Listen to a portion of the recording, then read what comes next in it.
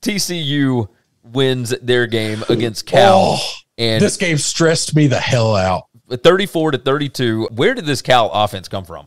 Like what, I haven't seen this? Cal play this good of offense. If you combined all the best plays that they've had for the last two and a half years, it, it was unbelievable. Uh, Cal's points per scoring opportunity, they had four. They put up 21 points in those scoring opportunities, 5.25 per opportunity. They they looked good. TCU it, could not get, did look really good. TCU could not create any kind of havoc on defense, and and this was a game between Justin Wilcox and and Gary Patterson, and we put up a total of 66 points.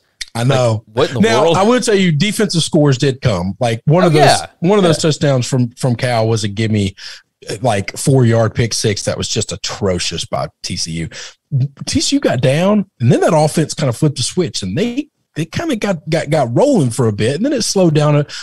It as much as I hated this game because I lost money on it. I was really proud to see Wilcox and the boys fight like that. I didn't want to see it because I really like TCU and I think TCU could be really good.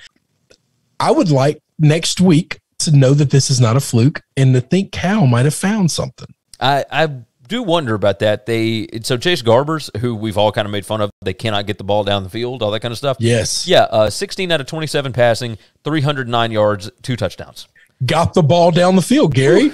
Yeah, I, it's I'm amazing. It's it's when when you've never seen something before, it it, it kind of surprises you. By the way, Zach Evans, massive massive in this game. 22 carries, 183 yards. That's 8.3 a clip, and he had a touchdown. I was just about to say he's almost averaging a first down every time he touches the ball. Yes, I mean he was that's, unbelievable. That's kind of um, sick.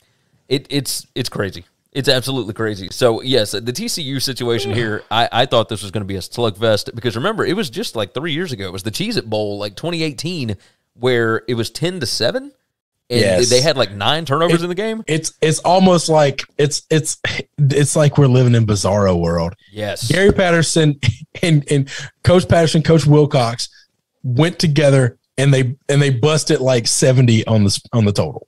Yes. I'm that's crazy. I, I, I would have bet, my, I would bet my life if you gave me the total that finished this. I'd have bet my life that they wouldn't touch that number. No, I, am the same way. I am the no, same way. Yeah. I just now I will tell you this. Uh, by the way, we'll we'll close out that game with this because I still have eh, two more that I want to hit. Cal now under Justin Wilcox, ten and one against the spread as an underdog. I, I ain't betting against them again. I'll tell you that. So I, I, didn't I didn't pick the game. I didn't feel good about it because of that stat. They, were nine and one against the spread in it, but Yes, most certainly.